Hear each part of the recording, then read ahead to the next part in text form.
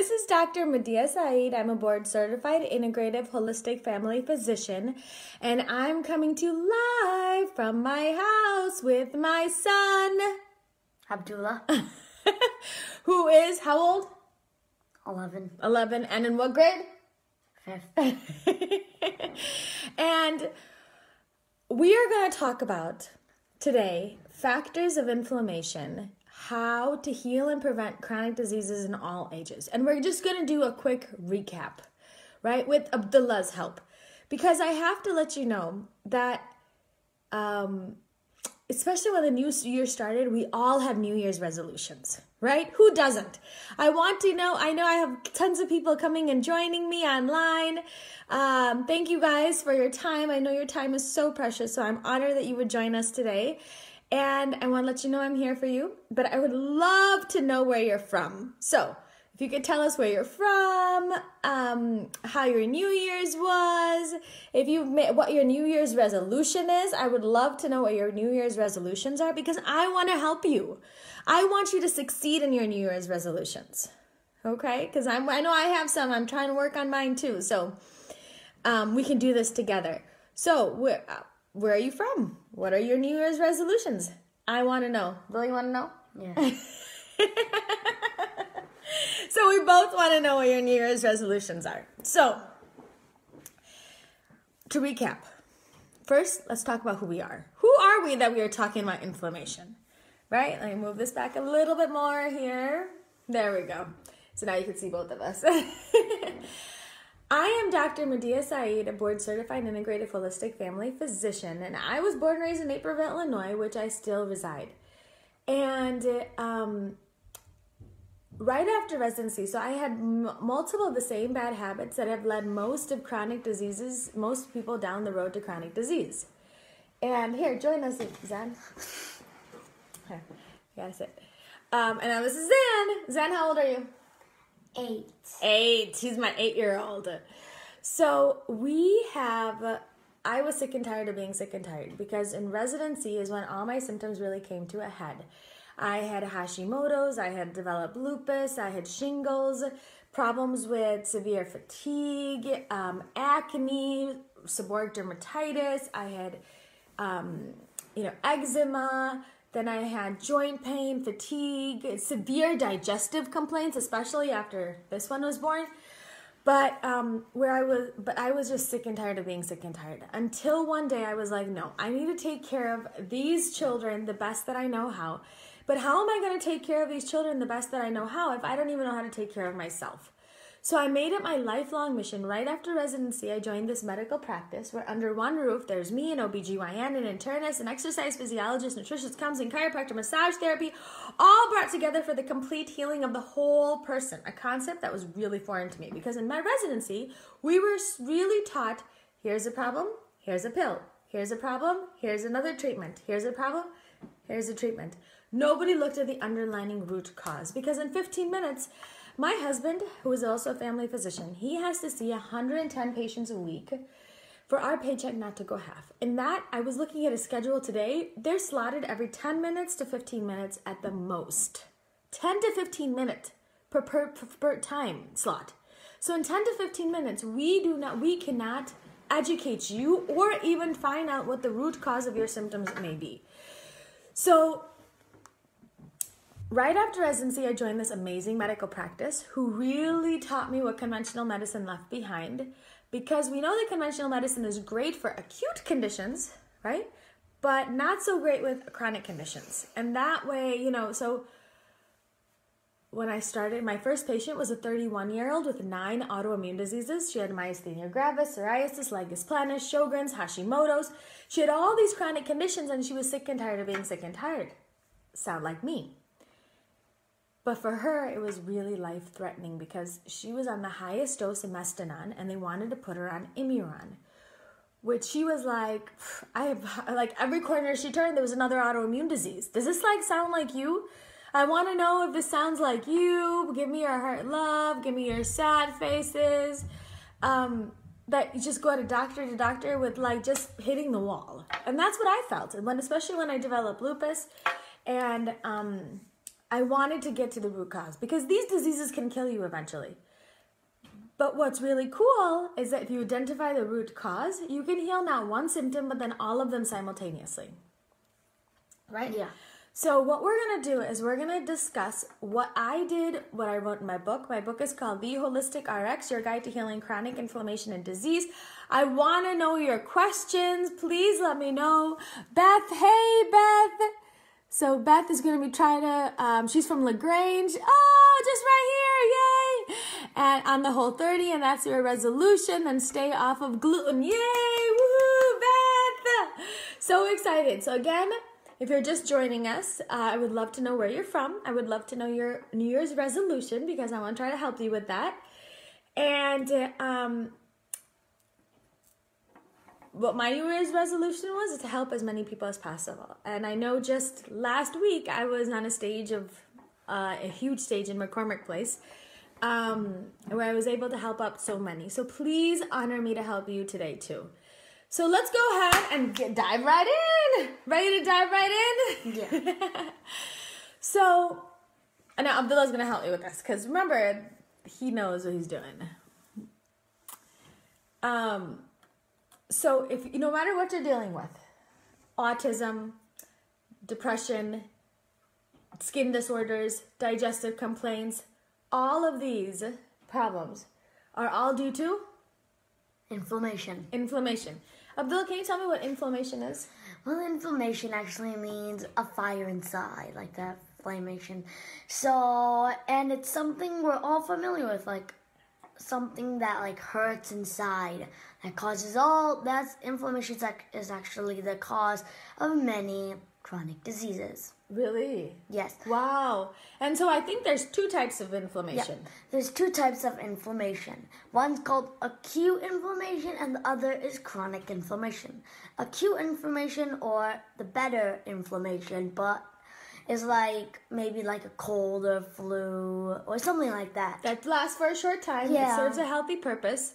And um, it's basically when you're trying to fight off infections, just like Abdullah said, um, heal from injuries and protect you from disease. But that's serves a healthy purpose, short term, and then it gets better and is beneficial. But what happens if it continues? If it continues, then it, it's called a chronic disease or bad inflammation. Chronic inflammation. is. So good job. It's like this in the chronic inflammation usually is called um, is uh, maybe autism, cancer, uh, ADHD, Good job. many other many Chronic chronic conditions. So let's explain exactly what that is because what happens is that chronic inflammation gradually destroys this magnificent masterpiece that they're born with. And it's that hot, fierce, smoldering, painless fire that's created by your body's immune system as it tries to fight off modern life daily exposures like what? Food, Food, stress, stress, and all that. toxins, yeah um, overgrowth of bad bugs, and even low grade infections that drive obesity and chronic disease. So these triggers all cause an increase in inflammatory cytokines. Yes. And what happens is that when properly function functioning right, these um, the inflammation stays in control, right? Because the inflammatory responses are controlled.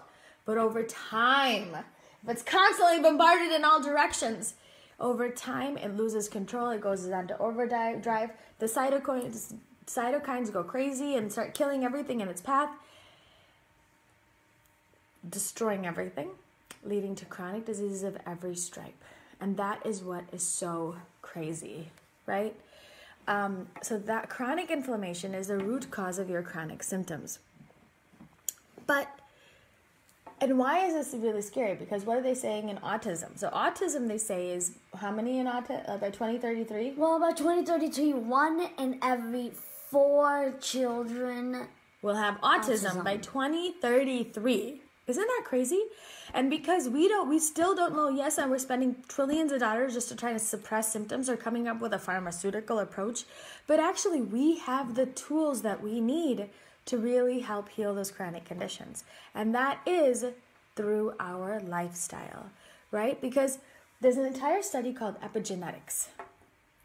Epigenetics is the study of change within our gene function without physical mutation in the DNA structure.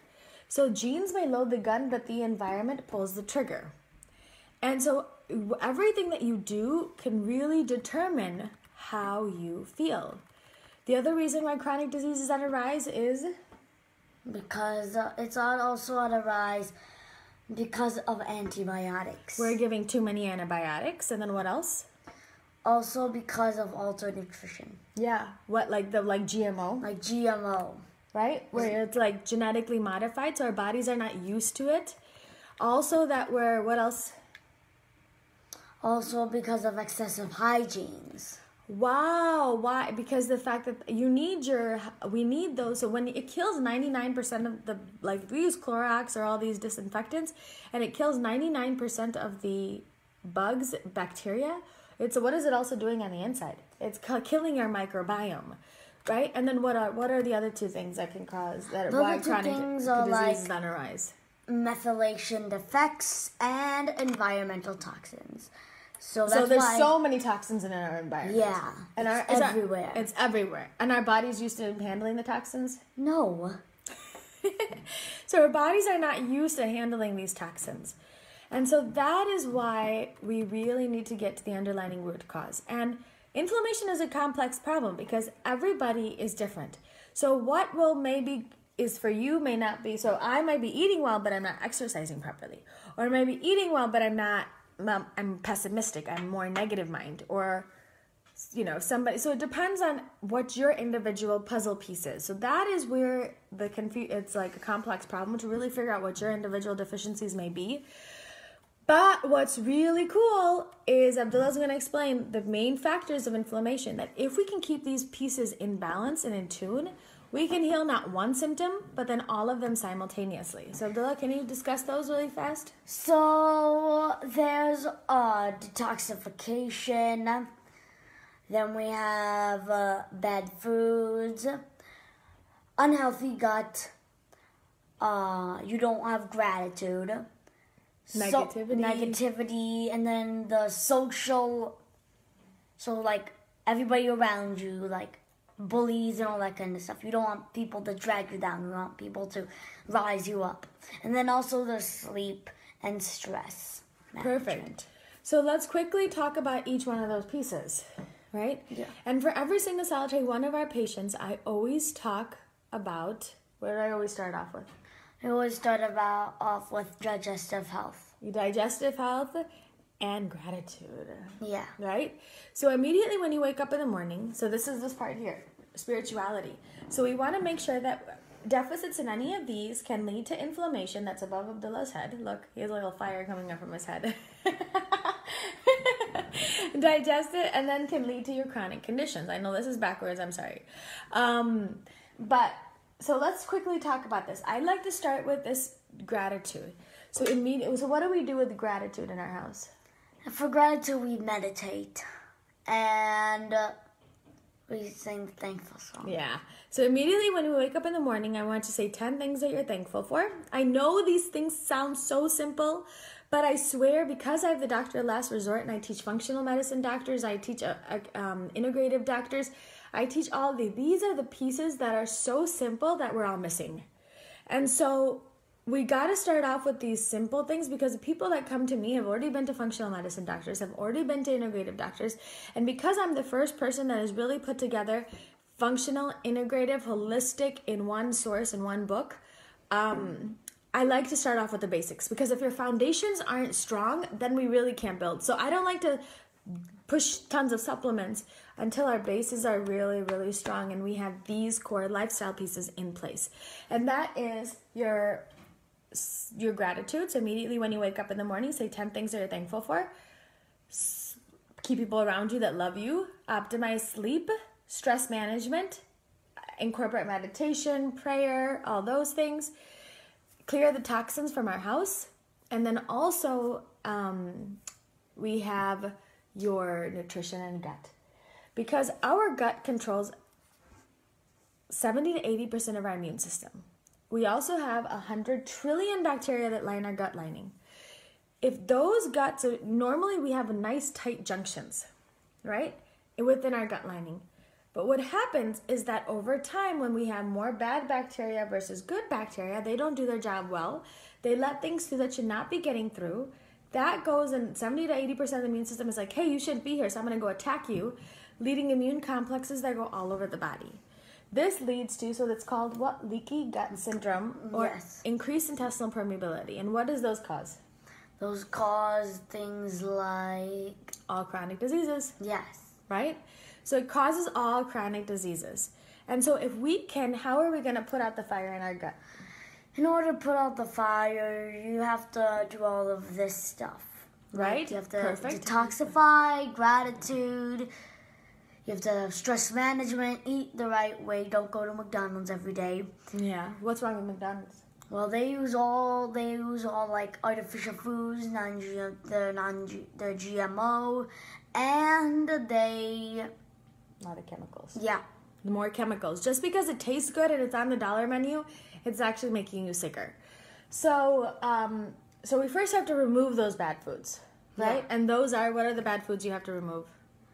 The bad foods you have to remove are like the things that are artificial or they have No grains, no, No dairy, sugar, sugar, no processed foods, and then replace it with vegetables, protein, healthy fats. Yeah. Abdullah does the lunches every single solitary day. It's really cool because the fact that he just goes down the list: vegetables, protein, healthy fats, and then um, bone broth yeah and fish oil to reseal the gut and heal it. And then what we want to do is the supplements.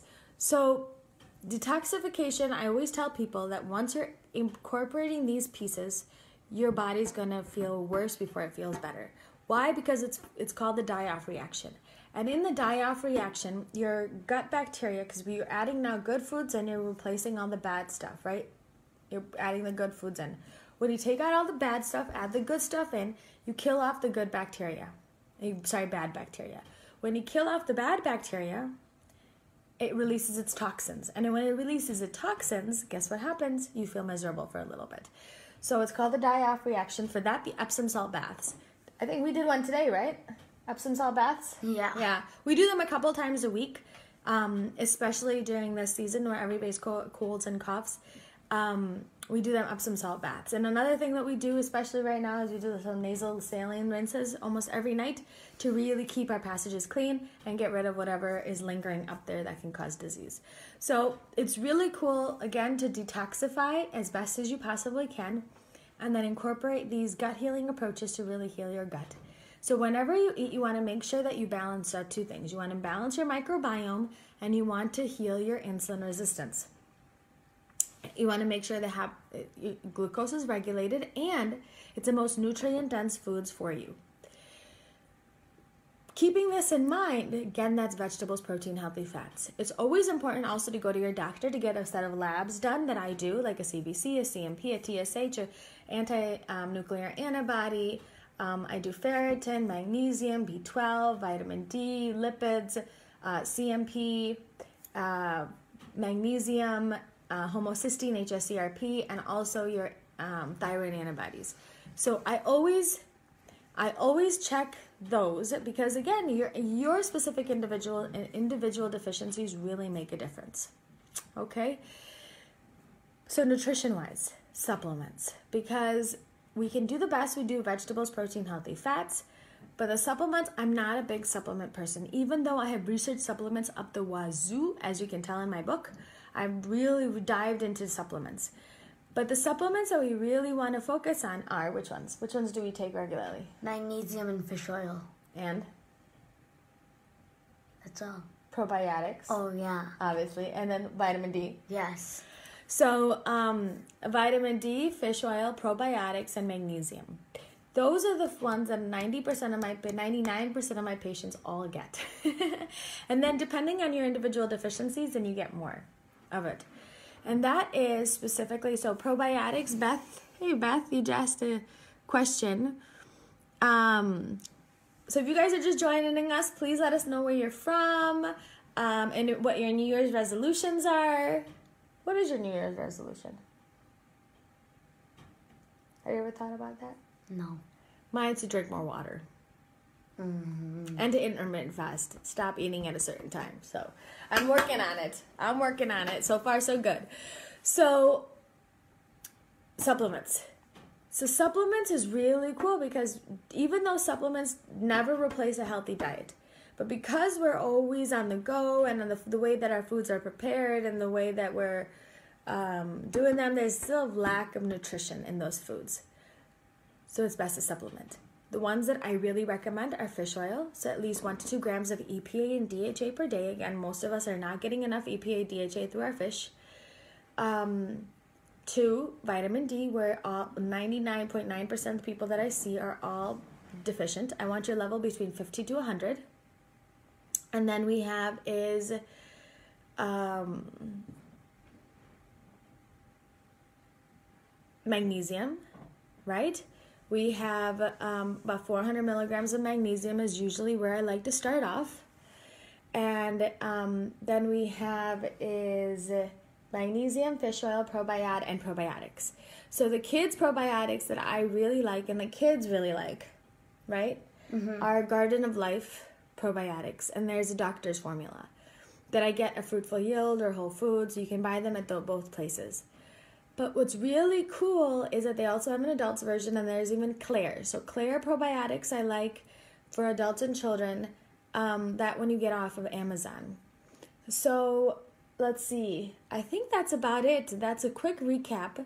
Um, and we're still here for you. I still get all the messages. Please let us know where you're from, what your New Year's resolution is. Thank you, Beth. Thank you, Maggie. Thank you, Sophie. Mwah. Um, yes. Mandy, we are gonna we're gonna love to help you heal your son's leaky gut because if Abdullah can do it, anybody can do it. And my kids live this type of lifestyle, um, and we all live this type of lifestyle. So if we can do it, you can. Um, stuck in my throat all the time. Um, yeah. So again, it's all inflammation related, Miriam. So we got to just focus on the inflammation. And how are you going to do that? We got to start with all of these different pieces. And I know it may sound very difficult and it's sometimes really too basic just by incorporating these key pieces into your daily life, but I promise you, over 9 years of experience with the people of my I'm the doctor of last resort who have even been to all these other functional medicine doctors. I can help you. And it all stems down to getting back to the basics and keeping the supplements as low as possible. So, if you have any questions, I'm here for you. Um, Beth says, What are the healthy fats your kids eat?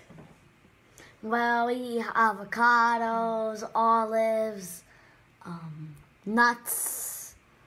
Yep. So he's got it, and if and this is really I'm trying to educate people that if these children can do it, you can do it. Because do we live this lifestyle at home? Yes. Yes, we do. And so please, you guys, let me know. Abdullah will be great to answer any other questions that you guys may have. And I'll talk to you guys next time. Bye bye. Bye. Have a great day next week. Mwah!